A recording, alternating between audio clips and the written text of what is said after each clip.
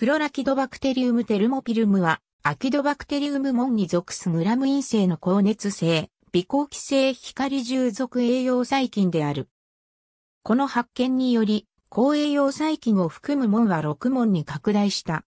イエローストーン国立公園のロワーガイザー盆地、オクトパススプリングの流出水路から採取された光合成微生物マットから分離された。太さ0.8から1.0、長さ2.5マイクロメートル程度の換金。非運動性で、弁毛やガス砲を書く。光合成の反応中心は高化学系 I 型で、高補充系として、クロロソームと負もタンパク質を持つ。バクテリオクロロフィルは A 及び C。炭素源及び窒素源として、アミノ酸などを含む培地で44摂氏58度、pH5.59.5、光存在下で増殖する。炭酸固定経路は見つかっておらず、従属栄養的にのみ増殖する。光のない条件下では、特定の培地でわずかに増殖が見られるだけである。多くの光合成細菌と異なり、藍色細菌と同様好気性だが、藍色細菌と異なり光合成の結果酸素を生成することはできない。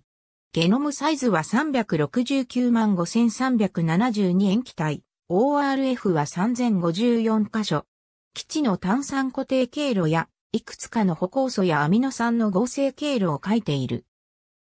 ABCDEF タンク、M、ブライアント、DA、クロラシドバクテリウム。サーモファイラムジェン、ノベンバー、SP、ノベンバー、アンアノキシジェニック。マイクロエラフィリック、クロロフォトヘテロトルフィックアシドーバクテリウム、IJSEM 65、1426から30、 doi、10.1099、 ijs、0.000113、 PMID 25667398、AB Garcia Costas AM、et al.、Complete genome of Candidatus Chloracidobacterium thermophilum、a chlorophyll-based photoheterotroph belonging to the phylum、アシドバクテリア、エンビロン、マイクロビアル、14、177から90、ドイ、10.1111、J1462 から2920.2011、02592、X プミド2195万1563。